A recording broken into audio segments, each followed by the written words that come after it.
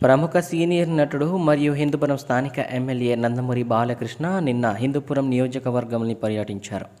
రైతులు చేస్తున్న నిరాహార దీక్షను మద్దతుగా పలుకుతూ వారిని పరామర్శించడానికి నందమూరి బాలకృష్ణ నిన్న హిందూపురం నియోజకవర్గానికి వచ్చిన సంగతి తెలిసిందే. అయితే మొదట అక్కడి తెలుగుదేశం పార్టీ కార్యకర్తలు మరియు అభిమానులు మరియు నియోజకవర్గం ప్రజలంతా నందమూరి బాలకృష్ణను ఘనస్వాగతం పలికారు.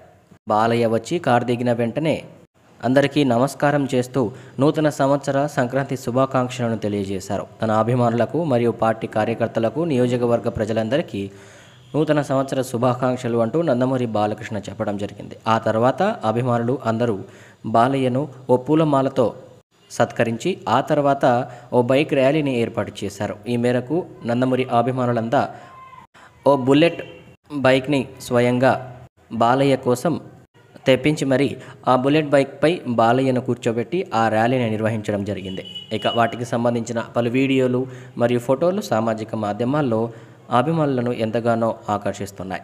ఇక ఆ ర్యాలీ నిర్వహిస్తున్నప్పుడు అభిమానులందరూ జై బాలయ్య జై జై బాలయ్య లెజెండ్ బాలయ్యకి జై అంటూ నినాదాలతో ఆ బైక్ ర్యాలీని విజయవంతం చేశారు. ఇక బుల్లెట్పై మన బాలయ్య ఓ లెజెండ్లా కనిపించుతుండడం అభిమానులను ఎంతగానో ఆనందింపజేసింది. ఆ తర్వాత రైతుల దగ్గరికి వెళ్ళి వారిని పరామర్శిస్తూ మీడియాతో ముచ్చటించారు మన బాలయ్య.